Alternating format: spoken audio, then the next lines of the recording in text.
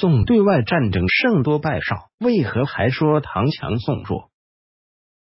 在中国古代历史上，唐朝、宋朝因为时间上的接近等因素，经常被放在一起。比如唐宋、唐诗、宋词等。对于唐朝来说，给人的第一印象就是比较强盛，而宋朝则相对弱小，经常挨打。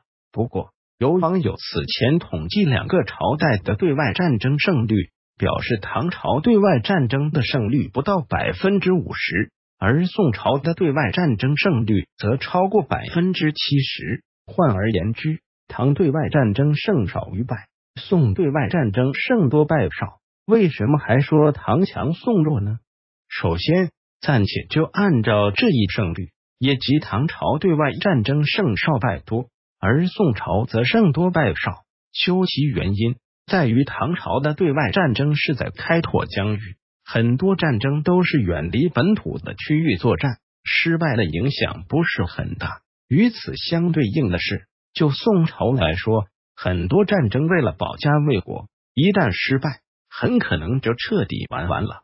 具体来说，胜率之类的其实没有意义。唐朝之所以给人一种强盛的感觉，是因为其用于对外用兵，而且消灭了不少潜在的威胁。并极大扩大了自身的疆域面积。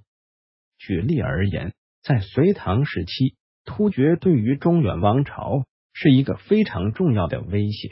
公元六百二十年，公元六百五十七年，唐朝历经数十年的时间，终于消灭了突厥，在突厥汗国的疆域上设立都督府和都护府。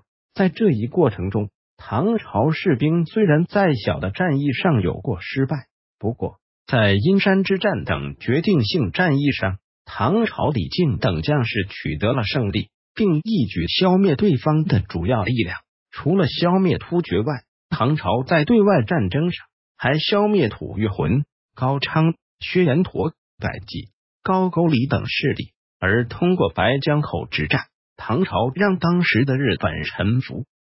在此基础上，唐高宗永朔年间，唐朝疆域面积达到最大值，大约为一千二百三十七万平方公里，一说一千零七十六万平方公里。与此相对应的是，北宋疆域面积最大时约为四百八十万平方公里，一说二百八十万平方公里。和唐朝相对应的是，宋朝的对外战争并不是征服战争。而是防御战争为主，期间虽然也主动出击过几次，但并没什么大的成果。而且唐朝是武将掌兵，宋朝更多是文官带兵。换而言之，宋朝士兵的战斗力可能并不弱于唐朝，但是将领的能力，特别是战略眼光，则要差很远。最后进一步来说，对于北宋朝廷来说，防御战拥有坚固的城池和充足的装备来进行防守，能够取得更高的胜率也不足称赞。毕竟的在经济水平和人口数量，包括装备水平上，北宋都要优于唐朝。总的来说，一场战争不是看局部一场战争的输赢的，而是看谁是战略进攻方，以及最终有没有长期控制某个目标地区。对于北宋来说，胜率再高，也没有收复燕云十六州。